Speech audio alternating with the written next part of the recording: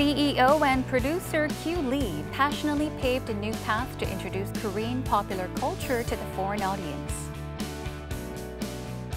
His experience and know-how at Sony Pictures Entertainment has helped him cultivate his network with many, including foreign and local celebrities. He has actively taken part in vitalizing the cultural exchanges between Korea and the United States.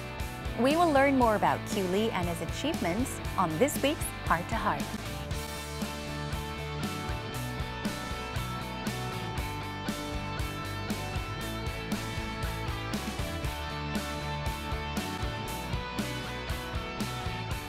Today's guest is an entertainment guru, a very well-connected guy.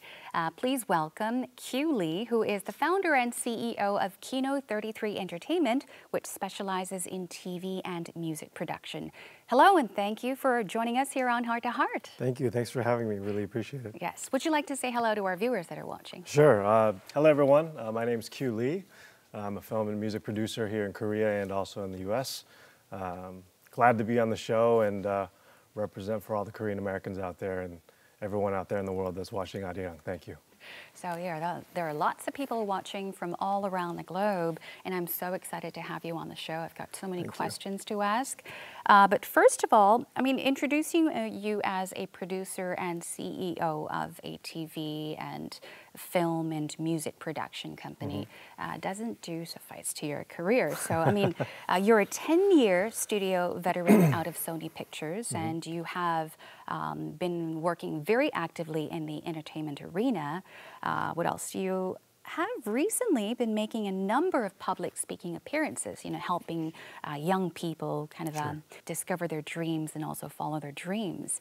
But I am going to have to start off by asking you to tell us a bit about, um, you know, what you're well known for as well. Years and years ago, this was in 2012, I believe. Right. Uh, you actually made it possible for Psy and the Gangnam Style song to become global. You actually brought it to America, so sure. tell us about that a bit. Sure. I, I, mean, it's a, it's a whole collaboration of a lot of different people, um, of, of, long relationships and, and, and work mm -hmm. that have been put together that kind of made this all kind of organically come into fruition. Um, in 2012, July 15th to be exact, uh, YG Entertainment and Psy uh, released Gangnam Style on YouTube.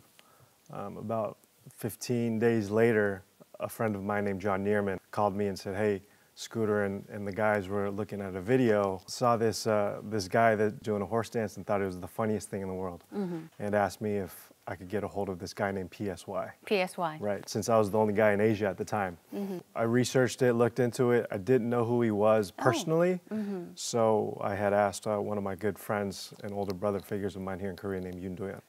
And Psy and I met uh, Scooter Braun, who represents Justin Bieber, mm -hmm. wanted to buy the rights to the song. But I thought it would be even better if I could take Psy mm -hmm. to the US and kind of create synergy with Scooter and our Hollywood network so that we can give him a chance to perform in the US. Mm -hmm. So Scooter was like, all right, let's do it. Mm -hmm. And then just one thing led to the next. We were on Ellen with Britney Spears. Yeah and they were on SNL. He uh -huh. was on, he was at the MTV Movie Awards. He was uh -huh. everywhere, and literally not even two weeks into it, he was a world star. Yes, and that just changed not his life but my mm. life as mm. well.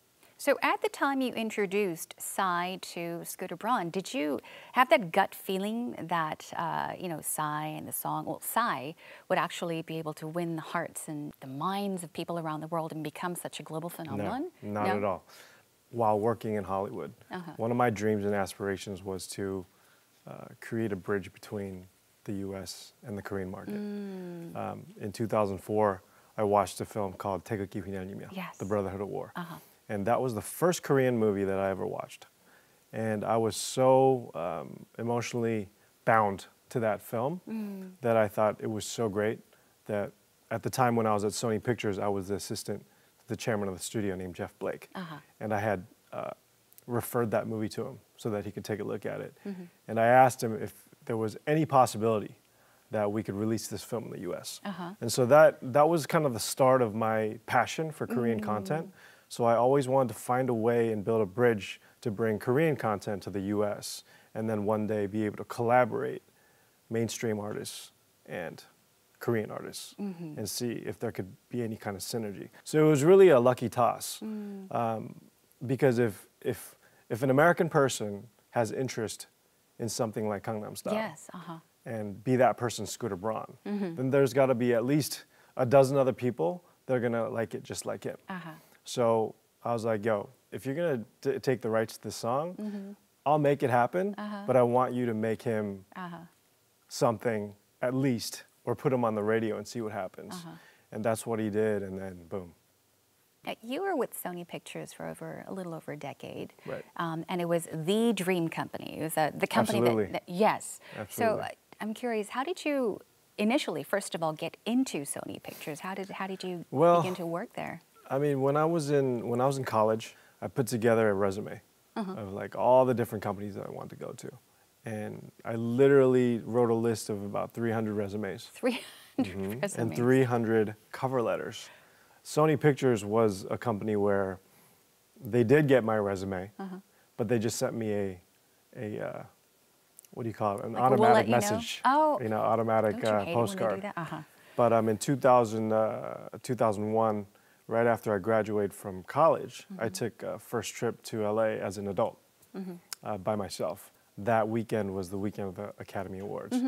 and that was March 23rd of 2001. Uh-huh. I've watched the Oscars, and I'm sure you have too, for forever Mm-hmm. on TV from wherever we lived. But from my standpoint, I was like, well, the academies are in LA, Uh-huh. and I'm here right now. I just wanted to go check it out because when you watch TV, you see all the fans and the red carpet. They're Mm. Like, you know, blocks and blocks of fans cheering and hooting and hawing and, and whatnot. And I just wanted to experience that because I've never seen that before Ah. live. So I was like, I'm gonna go. So I went. And there were cops and FBI and Uh-huh. security and all, all kinds of people just all over the block. And I saw a bunch of uh, Asian people there. Mm-hmm. And as the closer I got, I was like, oh my gosh, that's, that's Chow Yun Fat. Mm. That's Ang Lee. That's Mm-hmm. Zhang Ziyi. I was like, oh my goodness. And then I got closer and closer, and then these two security guards saw me. You know when a cop drives by, Uh-huh. or a cop's kind of sitting out with their radar gone out, Mm. and you're driving by. You know, you're just being extra careful. Mm-hmm. That's what happened to me when I saw those two security guards that were guarding that gate. But they took that as me not being able to speak in English. Ah. And then they saw them. So they're like, oh, sorry, go ahead. oh, really? Right. That easy? Just Long story short, that's what happened. And I literally just walked in because they let me in, and I followed Chow Yun Fat and the whole entourage into the Academy Awards, and I watched the whole thing. As that progressed from that to the after party, I got a few uh, business cards at the at that time through the people that I met, and one of the people there was a gentleman by the name of Paul Smith, Uh-huh. and Paul was the executive vice president of. Literally, he was the grim reaper of the studio. He was the guy that fired and hired people at Oh, the wow. studio. Uh-huh. And I literally bothered him for like two, three months. And then finally he hired me at the company uh, as an assistant uh, in post production at, at Sony Pictures. And this is how you got to work at Sony Pictures. right. But eventually, like you said, you um, worked there for a little over 10 years. Um, you did decide to leave. I so, did.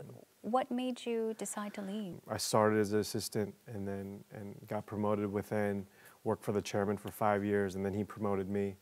And then, and then uh, in 2009, he transferred me to Korea to supervise the Korean Ah, office I here. see. Uh-huh. So that's how I ended up in Korea in 09. But um, I did it for about two years, and I was like, you know what? I'm not loving this job right now. Uh-huh. So I ended up quitting, and then fast forward, Gangnam Style happened literally just months right after I quit.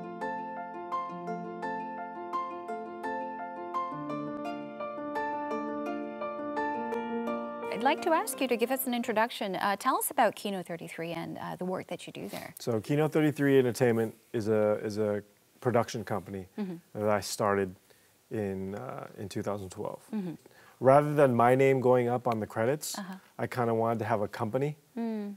uh, to to to spearhead that and to have like a like in Korea to have a sosokgam or, or to have like a Be a to, part to of be a part of a, a unit or, a, Uh-huh. or a conglomerate or, or something a, a team all the different projects I work on that are in TV film or music I like to put it under that label. So, I mean, rather than my name being first card, I'd rather have my company name go first card. I see. Now let's talk a bit about uh, your work as a film or movie producer. Uh, you produced or co-produced the film 인천 상륙작전, which was known as Operation Chromite, uh, which is a film about a battle of Incheon Right. set during the Korean War. You played a major part in having actor Liam Neeson feature in the film. Right. There was a producer here in Korea. Um, he knew me since I was at Sony Pictures since I was a kid, and uh, over the course of the past last five six years, he would you know offer me certain side gigs to do, um, to have to play a role as an associate producer or a producer on some of the dra- TV dramas or, or films that I worked that he worked on and produced in Korea. And Operation Chromite Incheon Sanggyeokjeon was was one of those projects. Um, we were thinking about different casting options, um, not just the Korean cast and, and the director, but also let's not just get some dude from Itaewon. I see. You know, let's really get someone that's commercial. Uh-huh. We had this dream team list of people from like Colin Firth to mm. Liam Neeson to even John Travolta, Robert De uh-huh. Niro, Tom Cruise. I mean, anybody that could fill that role mm-hmm. of, of General MacArthur. Mm-hmm. And the side profile of Liam and the side profile of MacArthur uh-huh. were literally exactly the same. Uh-huh. So I started, you know, digging into my into my Rolodex, like who uh-huh. could I possibly call to get in touch with Liam? So I asked my boss, hey, I know we have a relationship with Daniel. Is it possible that we can call his agent and try to get Liam to look at the script of the film that I'm producing? Mm-hmm. And he's like, absolutely. I mean, I can't guarantee he's going to do it, but I have no problem referring you to him. So after that introduction, I got an email from the agent. He called me up, and um, it happened. It happened. He's like, I love Korea. I went there for Oh, wow. Uh-huh. They, they, they received me with open arms, and I would love to go back one day. And so then I took the next flight out to New York to go meet him in New York. Mm-hmm.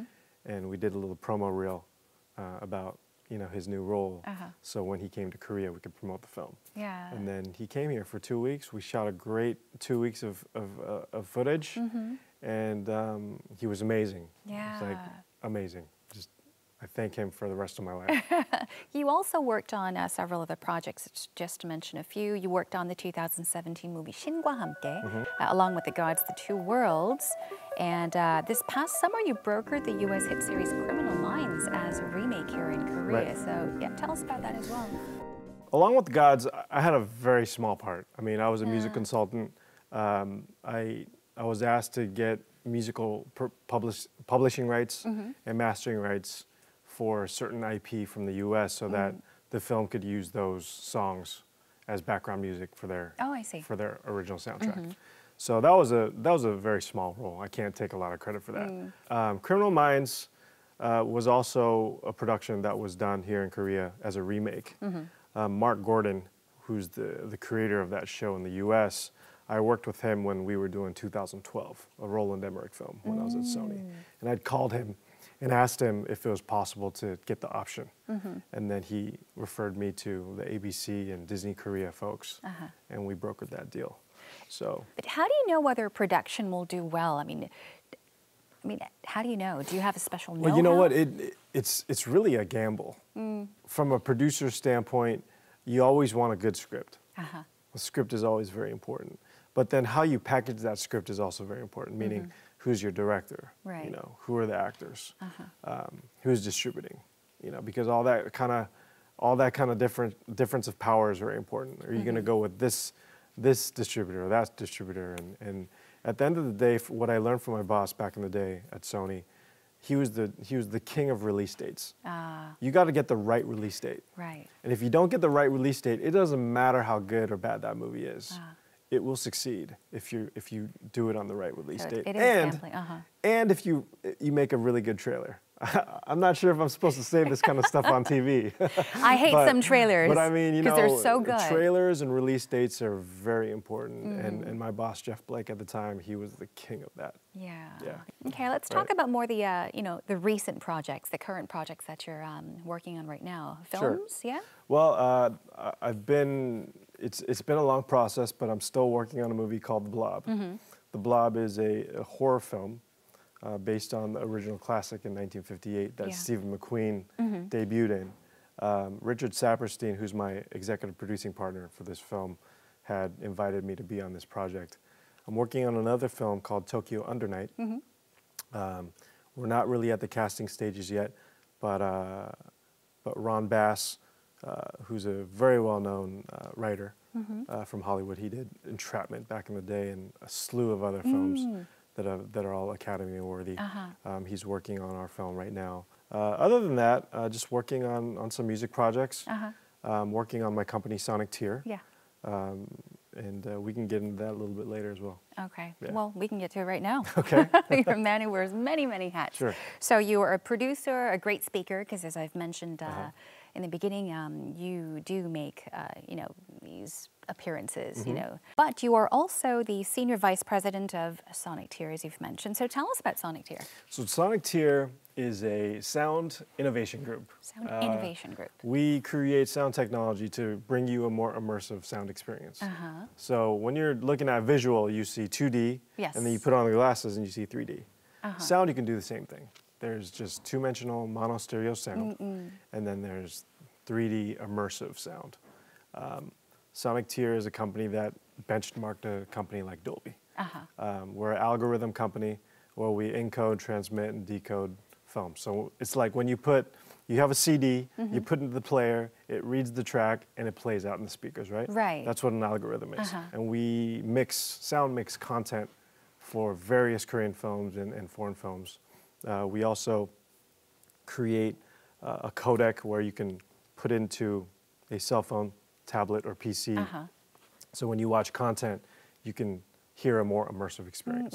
So we've been working on a lot of different things. Um, we're also talking to TV uh, display companies and whatnot, so we can put a codec in theirs, so that when people watch content at home, they can hear a more immersive experience through just not the TV, but also through a soundbar. Yeah. Um, we've also created a, uh, an application called Sonic Play, Mm-hmm. where, y- where you, uh, you, can, you can take your own video, Uh-huh. and then through that application, you can sound mix and, and give immersive Oh, that's so experience cool. to your Wow. Mm-hmm. own video that you put up on social media through binaural technology in your earphones. Right. So all those little different things that we're working on right now is kind of changing the scope of the game and giving consumers uh, more options to bring excitement to Yeah. their to their um, you sent me a link to um, Sonic Tier, Right. And you said, you know, put on your earphones and you know Mhm. experience it. I actually did try it out. I Uh-huh. couldn't find my small earphones, so I had these big headsets Right. on.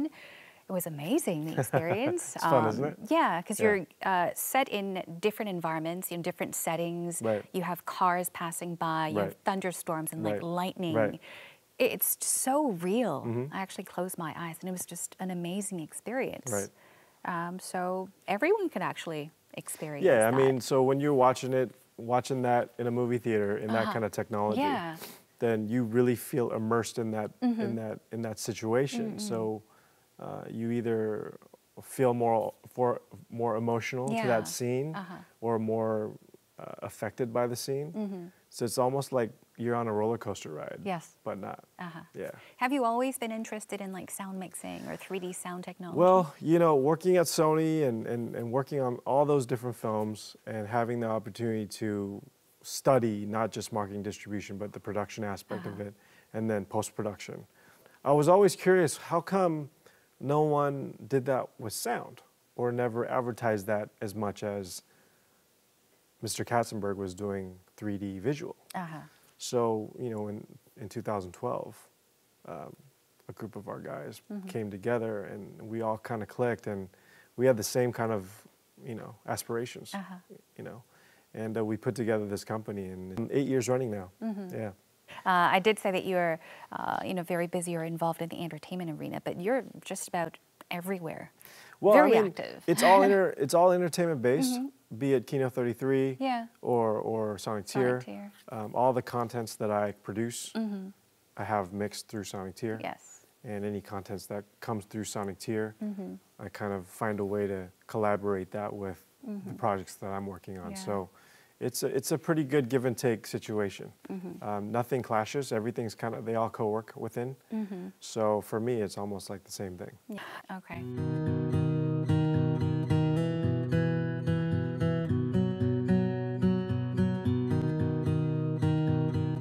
Right, now aside from film and music related work that you do, you do make public, you know, uh, speaking appearances. Mm-hmm. Um, so I'd like to ask you about that. Um, I know uh, there was this talk show that you were on years and years ago, and it was just sensational. What are they mainly about, and who are your uh, audiences? When I, when this all first started, mm-hmm. I was terrified to be in front of the camera. Really? I was terrified to speak in front of people. Um, I literally like I hated it. Uh, when I was in college, I took drama classes because I was so irritated by the fact that I was so bad at speaking in front of people mm. and wanted to win that. I wanted to beat that. Mm-hmm. So I started taking speech and hearing sciences, drama uh-huh. classes, whatnot, to kind of improve my craft and my confidence in front of people. So I think that's why I'm able to speak today. When Gangnam Style happened, it just literally changed my whole mm-hmm. routine there was a, a, show called The Kim Mi-kyung Show. Ah, yes. They had invited me to be on the show because they wanted me to talk about the happenings of this phenomenon. Mm-hmm. And then I actually got a call from The Interview, which is another yeah. Arirang show. Uh-huh. And that was the first show that I actually told my story of how I got into Sony Pictures. It was the first time ever. Mm. Then I started to do all these different shows. And then all of a sudden, uh, this publishing company asked me if I could write a book uh-huh. about my story Drama. about how uh-huh. um, I got into this industry mm. and the whole Psy thing and, and, and the future. Mm-hmm. And then the book happened, and I titled it Drama, which was published in 2013. Mm-hmm. And Drama is an acronym that I put together called Dream, Relationship, Action, Modify, Accomplish. Uh-huh. So you make dreams, through those dreams, you build relationships. As those relationships progress, you take action, mm-hmm. and after you do a- after you take action, sometimes you got to modify yeah. in order to accomplish. Uh-huh. Yeah, and, and uh, I'm blessed. I, uh, still I still get to do it today. I got one tomorrow. Oh, and really? A few more, and a few more this month. So wow. pretty excited. Mm-hmm. Yeah. So I mean, you, you, said that you do include, um, you know, in the uh, public speak that you give, you do talk about how the importance of networking. Mm-hmm. Um, and I hear that uh, you pretty much give your phone number to everyone that asks for it. Pretty much. I uh-huh. mean, you know, because it's just a phone number. I'm not giving them my address or, or the, uh, the password to my front door. If you don't give out your phone number uh-huh. or, or you reject somebody, you're, you're losing a golden opportunity mm. that you may n- never have known. Uh-huh. You know, growing up, I was when I was the cool kid on the street, mm-hmm. and when I was the loser just trying to grow up. Um, I realized that when you're like, when you're an introvert mm-hmm. or you're shy and you don't have enough confidence to, to go up to people, mm-hmm. you're missing out on opportunities. Yeah. And then when you're too cool and you're cool breeze and you're on top of the clouds because you think you're the biggest thing on the planet, mm. you're also losing opportunities to maintain what you have. Uh-huh. And so when I go to these lectures, yeah, I give my number if they ask for it because just because I'm the guy on the stage, mm. it doesn't mean that I'm the star. I'm also getting a mm-hmm. lot of feedback and inspiration from the people that are out there mm-hmm. in different fields that I've never encountered before. Uh-huh. I was going to ask you about um, what you thought about the importance of networking, mm-hmm. keeping that strong relationship right. between people. Is there anything else that you would like to add, or perhaps a message you'd like to deliver to those who want to follow, uh, you know, in your footsteps? Sure. I mean, you know, as a kid, a lot of your elders will tell you, you're never going to make money doing stuff that you like. Uh, yeah. You got to do what you're good at mm. and do something professional. But what's professional? Mm. You know, whatever you're good at or whatever you're striving to do, that's professional, mm. I think. Professional is a manner, it's not a skill. Mm. Professional manner, I think, comes before professional skill. Mm-hmm. If you do what you want to do right now that you enjoy and it doesn't work, then you can fall back to the things that you're good at mm-hmm. and recoup. Yeah. If mm-hmm. you don't do it now, you're never going to get to it. Yeah. So I would just say to the viewers or to anyone that are trying to follow in similar footsteps of people that they're looking up to mm-hmm. is to, to, to go and do it and, and, mm-hmm. and see what happens. And if it doesn't work out, then go ahead and do what you're good at. Yeah. But until then, just keep on grinding, you mm-hmm. know, and um, that's all I can really say. I'm still doing it today. I'm yeah. still doing it now. Uh-huh. I still fall on my face all the time. but you get uh, back still up, get yeah? back up. Uh-huh. You know, so I think that's what's important. This kind of reminds me of uh, what one of our guests, uh, former guests, mentioned on a program. He said that his biggest fear was actually not being able to do what he enjoyed doing. Mm-hmm But it was something that he wasn't sure that he was uh, good enough to Right. actually start. But he Right. actually, you know, gave it a shot, and he's enjoying life so much right now. And he's a Absolutely. very, very happy Absolutely. individual. All right. Well, thank you so much for sharing your Thank you. story. Very unique stories. Thank you. very interesting. I guess I could even say it's um, too good to be true stories. uh, I had a wonderful time. Thanks Thank for you, me joining us too. today on our show. Thanks a lot. 감사합니다. 감사합니다.